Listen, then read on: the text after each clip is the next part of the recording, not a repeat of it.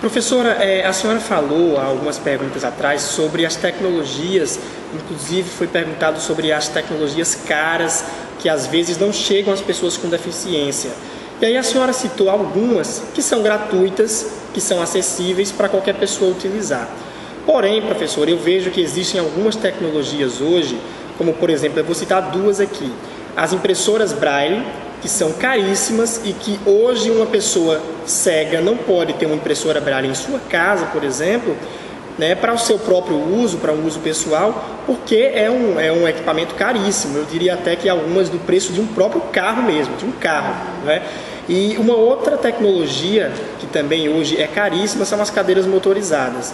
E aí eu pergunto à senhora, com essas tecnologias que ainda não estão ao alcance das pessoas, o que a senhora, como professora, como educadora, como uma pessoa que há muito tempo trabalha com isso, poderia sugerir, ou poderia dizer, será que existiria alguma maneira da gente melhorar isso, diminuindo os impostos ou alguma coisa do tipo, para ver se essas tecnologias ganhariam mais espaço e até um preço menor do que o absurdo preço que a gente vê hoje?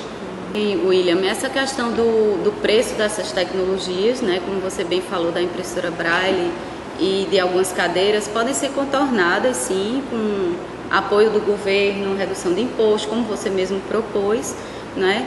E, mas como nós mesmos falamos, estamos numa fase de grande aperto, né? Então, por que não a gente fazer com que essa promoção seja feita através de centros de, de universidades, não é? Por exemplo, que o que eu via muito e que vejo muito uma realidade positiva nesse sentido é quando as instituições têm centros que têm essas tecnologias à disposição da comunidade, certo? Então é uma forma de a gente remediar. Não é o melhor caminho, claro que seria muito bom se os cegos tivessem maior acesso até essa impressora em sua casa. Mas já que eu não tenho, por que não disponibilizar um maior número em centros, em universidades, em escolas, né? e fazer com que essa, essa tecnologia esteja disponível para um maior número de pessoas. Né? E também que o, minha visão também é no sentido de experimentação da tecnologia. Né? Então, se eu tenho uma deficiência e eu sou acometida da noite para o dia e eu preciso experimentar uma tecnologia, nós sabemos que a tecnologia é muito sensível. Né? Nós precisamos saber que tipo de tecnologia se adequa melhor ao meu caso específico, à minha forma de ser, à minha forma de, de agir. Então, como é que eu vou comprar algo, investir algo, né, já caro, em algo que eu não sei se vai se adequar à minha realidade, tá? Eu vou contar um exemplo aqui para vocês. Eu conheci uma menina que ela era estudante do curso de letras, assim como vocês. E quando ela chegou no centro, lá em Portugal, para nós avaliarmos, ela chegou nos braços da mãe. Ela não tinha nem os membros superiores, nem os membros inferiores.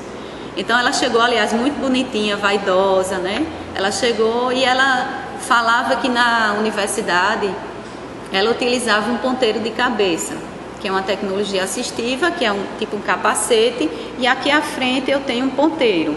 E como ela tinha um movimento satisfatório do pescoço, ela fazia esse movimento e ia digitando as teclas do teclado. Então é uma tecnologia assistiva que substitui os membros superiores com o membro que ela tem total né, controle. Então ela dizia que quando ela chegava na universidade para usar o computador, ela tinha vergonha de utilizar aquele capacete. E eu entendo plenamente. Né? Sai de casa com um capacete, com um ponteiro para utilizar na minha sala de aula, eu também não ia me sentir muito à vontade. E ela teve lá no centro para experimentar possíveis tecnologias que ela poderia adquirir né, a, no futuro breve. Então ela experimentou um dispositivo que tem, na época eu acho que custava uns mil euros. Então era um dispositivo que funcionava com infravermelhos. Ela colocava na frente do computador, colocava um adesivo na tela, na testa. Ela funciona com infravermelhos né? Então ele detecta o, o adesivo na minha testa e eu vou mexendo e assim eu consigo mexer o cursor do mouse. Então ela achou muito interessante, né? E inclusive ela achou até bonitinho ter um adesivo na testa. Né? Ela era muito vaidosa, parecia as indianas assim com adesivo. Então ela experimentou essa tecnologia e achou muito satisfatória.